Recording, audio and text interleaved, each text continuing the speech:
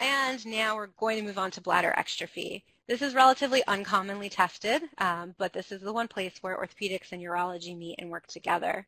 Uh, classic bladder exstrophy occurs in 1 in 40,000 infants, and cloacal exstrophy is even rarer.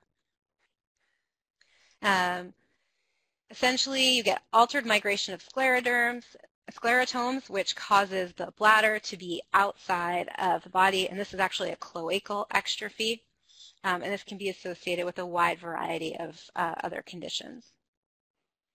Um, so on physical exam, you're going to see a patient with an exposed bladder. And the musculoskeletal, the important musculoskeletal parts of this are that the acetabuli tend to be externally rotated or retroverted.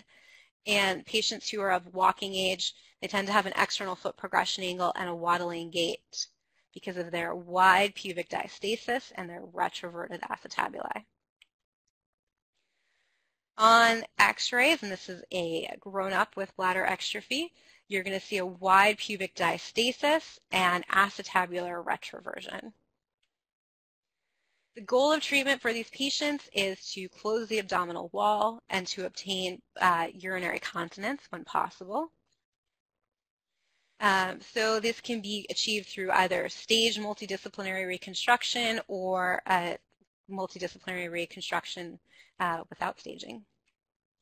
Um, the components include primary closure of the bladder, uh, epispadias repair, uh, bladder neck reconstruction, and then where we come in is in the pelvic osteotomies.